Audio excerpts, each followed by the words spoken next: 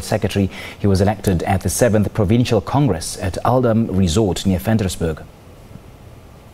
The SACP in Free State says they agree with the Central Committee stance that ANC nomination processes ahead of the local government elections have been flawed. The party says they would have preferred continuity of leadership for the Mangaung Metro. However, they support Mlamleli's candidacy for the sake of unity in the alliance.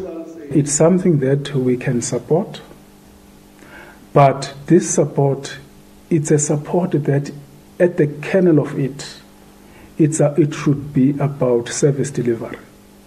It should not be about uh, using state resources against unintended programs. SACP maintains that the alliance is stronger than ever and says they will work hard to ensure that the ANC comes out victorious in the local government elections.